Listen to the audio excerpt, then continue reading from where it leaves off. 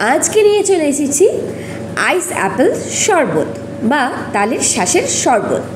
তো তালের শ্বাস তো লাগবেই লাগবে, আর লাগছে একটু মধু, পুদিনা পাতা আর লেবু। তালের শ্বাসগুলোকে আমি আধ ঘণ্টার মতো ডিপ ফ্রিজ করে রেখেছিলাম, যাতে আমার ছাড়াতে সুবিধে হয়। এইবারে ভালোভাবে একটা একটা করে ছাড়িয়ে নেব। ছাড়িয়ে ঠিক এইভাবে ছাড়াবো, একদম পরিষ্কার করে।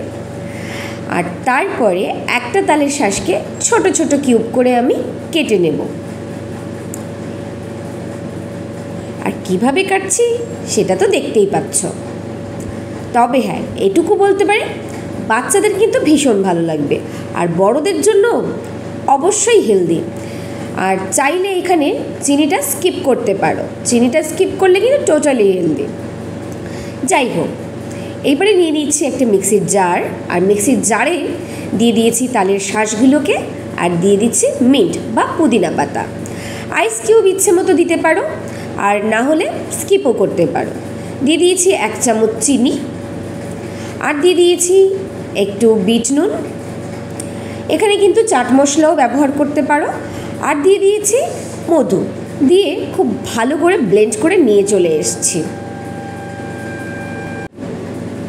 এইবারে দিয়ে দিচ্ছি পরিমাণ মতো জল। আমি এখানে এক গ্লাস জল ব্যবহার করেছি।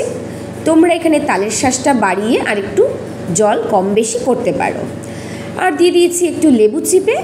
ব্যাস, আমার শরবত কিন্তু একদম রেডি ঠান্ডা ঠান্ডা সার্ভ করার জন্য। বাড়িতে কোনো গেস্ট এলে বা বাচ্চাদেরকে তো দিতেই পারো।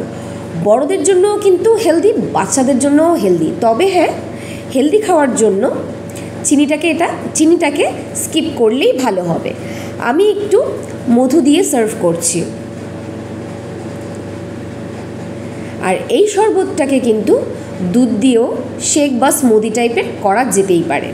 তাহলে আজকের মতো তো এইটুকুই। আর কালকে রোববার, কালকে ছুটি কাটাবো, আবার আসব সোমবারে। সবাই সুস্থ থেকো, সবাই ভালো থেকো।